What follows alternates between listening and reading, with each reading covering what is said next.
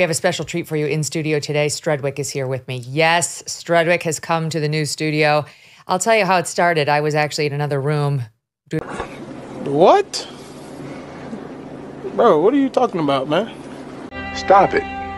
Get some help. Doing my work. He's here with me. And I got a panicked text from Canadian Debbie saying, Are you aware that Strudwick is in the studio? Strudwick is in the studio. It's not good. not gonna be a mule. I, I, I'm- I, I, I got something to do. I gotta go do boom. What the hell is that shit? So here he is. You'll get a, oh, he's licking the fake gas fireplace right now. he's just so bad. I know, we- We're not, we don't know what to do. Well, it was weird, right? Yes, it was.